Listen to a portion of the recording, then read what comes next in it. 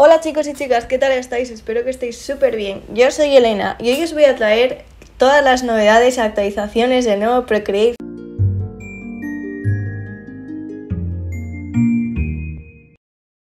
Lo primero de todo que tenéis que saber es que para que esté actualizado, que lo podéis ver aquí, que ponga versión 5.2, también tenéis que tener actualizado tanto el iOS como vuestro iPad y tener un iPad, eh, iPad Pro o superior.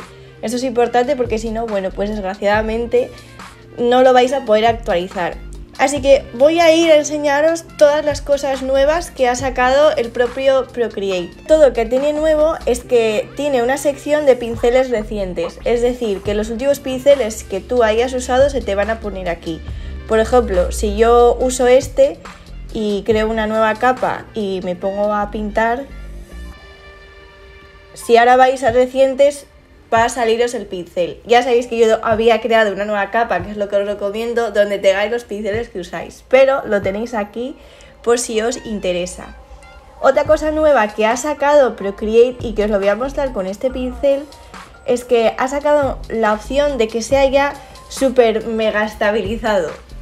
es esta zona de aquí es la estabilización que vais a ver la diferencia. Así es sin la estabilización, ¿vale? Y si le pongo a tope, fijaos cómo cambia, lo podéis probar vosotros con vuestro propio eh, pincel, con el que queráis, que es que se queda súper estabilizado, o sea, es increíblemente. Ya sabéis que lo podéis hacer en el Slimline, ¿vale? Que aquí también lo cambiáis para que vaya mejor o más, pero aparte de eso lo podéis sumar esto de aquí, ¿vale? Que es que ya vaya increíblemente estabilizado. Yo no sé si tanto merece la pena, un poco, pues hombre, sí, pero mm, tampoco no sé si merece la pena.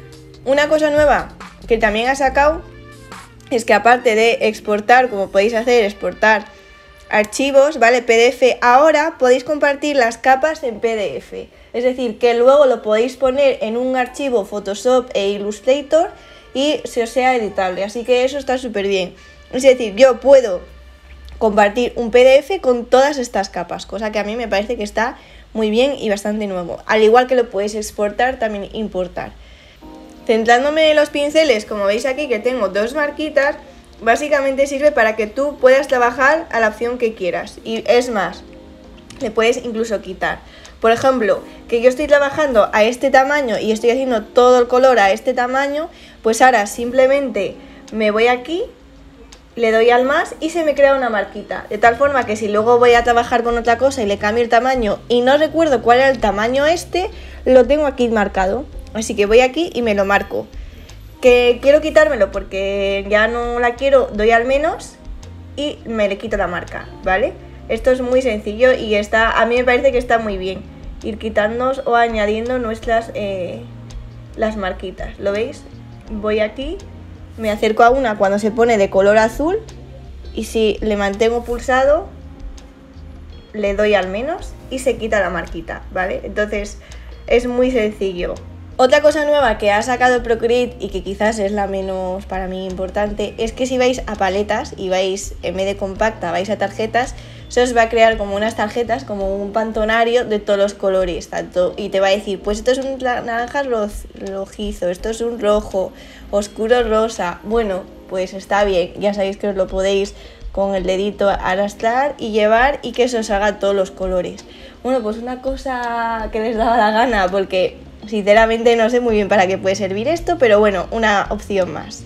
Otra de las opciones que tiene Procreate que ha sacado nuevas es la opción de ajustes. Si vais a opciones y vais a controles gestuales, podéis ir al Quick Menu y activamos este, por ejemplo, o el que queráis. Es decir, simplemente tenéis que activar el Quick Menu, que es importante.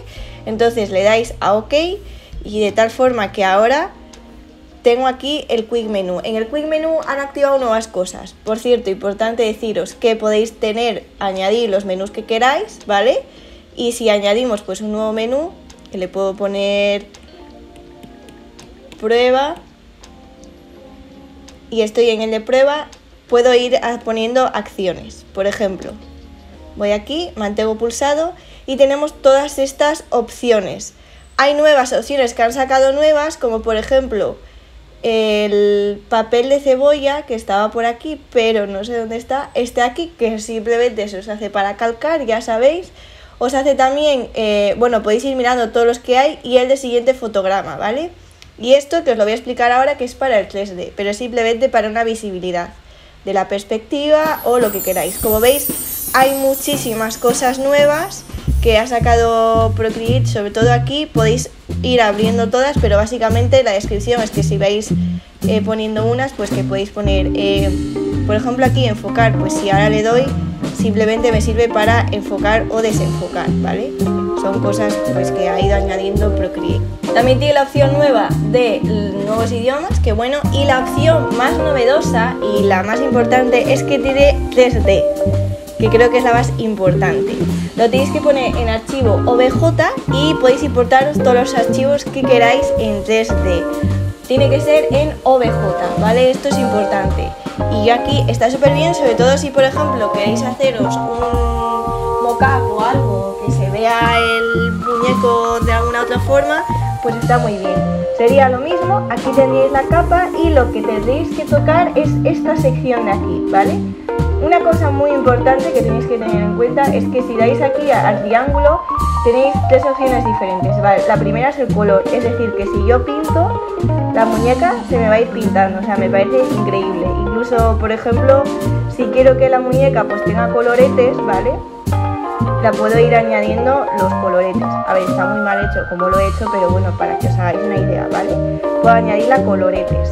Si veis aquí, veis que tenéis dos opciones más, rugosidad metálico, que la tenéis aquí y que simplemente tenéis que pintar de cualquier color y se os hace metálico. Lo que pasa es que si queréis borrar, pues nada, pues borráis y la hacéis menos metálica. Que la queréis hacer menos metálica, pues vais bajando la opacidad poco a poco, aunque decir que no es del todo súper preciso, pero bueno, eh, no está mal para, para, empezar. Supongo que sea también por mi iPad, que es un poco ya mayor.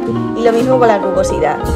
Como veis, la diferencia al pintar se queda más rugoso, es decir, em, por poneros un ejemplo, una pelota de billar y una pelota de, eh, de fútbol. La de, la de billar brilla mucho y la de fútbol no, ¿no? Pues es un poco eso, fijaos.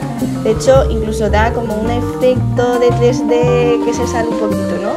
Bueno, pues eso es un poco la rugosidad. Si queréis más detalle de esto de 3D, pues podéis darle like, y suscribiros a mi canal para que haga más vídeos estos. Pero bueno chicos, estas han sido las actualizaciones que ha sacado Procreate. Espero que os hayan gustado mucho y acordaros sobre todo de darle un buen like, de suscribiros a mi canal y nos vemos muy pronto en un nuevo vídeo. Adiós.